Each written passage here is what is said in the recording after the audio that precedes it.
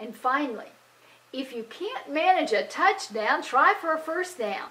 If you can see that your idea won't be accepted in, in total, then settle for measured success.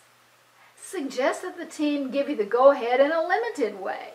The first, you know, the, the, the first part of it, the first step of it, the first phase. Ask for a test drive at some phase of the project before the money's spent, so to speak. All you may need is just a little running room to prove that your idea, your plan has merit. Don't give up so easily. Don't give up simply because you don't make a touchdown in the first play. Above all, be flexible on the issues.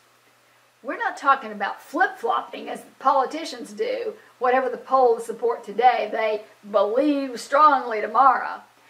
But instead, be open to the facts and flexible in your feedback. The purpose of meetings, most staff meetings anyway, is to exchange ideas. If someone presents facts and sways your opinion, don't hesitate to change your position. That's not weakness, it's democracy.